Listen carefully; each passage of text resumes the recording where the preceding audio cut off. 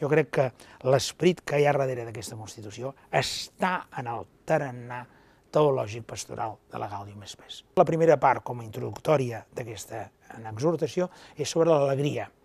És una novetat. Per què?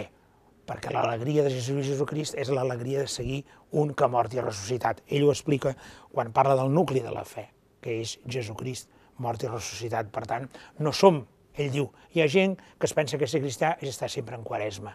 No, és estar a Pasqua.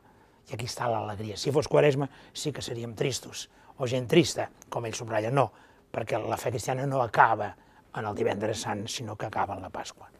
Fonamentalment es podria dir que el papa planteja una reforma a l'Església. Una reforma en el sentit que ja estava preanunciada en el Vaticà II. Encara que ell aquesta paraula no la digui explícitament, jo podria formular dir una reforma en el sentit següent, doble. Primer, una millor presentació de la fe, que sigui positiva, alegre, ell després ho explica una mica més i si cal després en parlarem. Per tant, una nova forma molt més evangèlica en la seva narració. I segon, perquè hi ha tota una sèrie d'aspectes de renovació eclesial, de reforma de l'Església. Quan ell diu al començament del tot, explicant que d'alguna manera no tractarà tots els temes, perquè deixa que els episcopats ho facin, i així ja es farà una saludable, com diu ell, descentralització.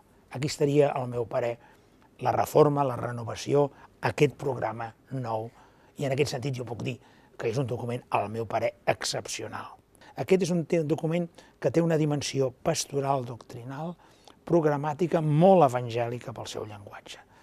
Es nota que tenim un papa llatinoamericà, d'un castellà preciós i creatiu, primerizar, la cèdia, Eh? O sigui, tota una sèrie d'expressions, fins i tot una vegada, quan diu primerear, diu, eh, permítanos el, el neologismo, no?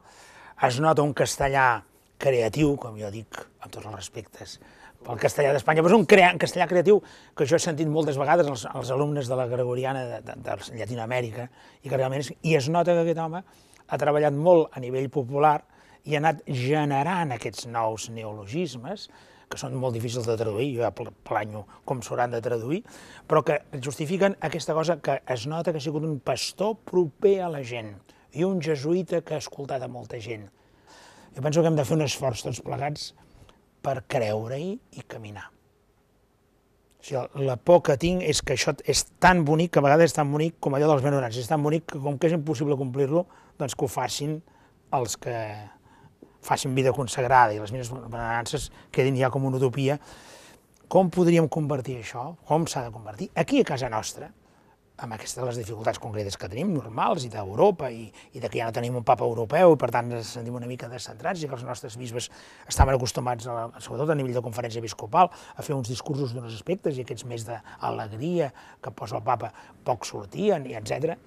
Com això ens vol una conversió? Una conversió que ens hi hem de posar tots un a un.